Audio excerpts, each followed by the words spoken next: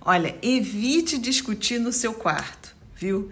Evite discutir principalmente antes de você dormir. E no seu quarto, então, nem pensar. Sabe, assim, às vezes você chega no final do dia, tá cansada e começa a bater boca com o maridão ou com a esposa antes de dormir. Gente, evita isso. É terrível.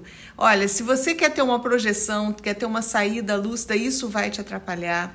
Mesmo que você não queira e você saia, você já atraiu um monte de obsessores, um monte de pensamentos ruins, de formas pensamentos negativas para dentro do seu quarto, para juntinho de você onde você está dormindo. Então evite ao máximo, ao máximo. Se você quer ter um, um papo assim, uma DR, né, com teu companheiro, alguma coisa, deixa para o dia seguinte. Não faça antes de dormir e principalmente não leve as discussões para dentro do seu quarto. Fica aqui a dica, tá?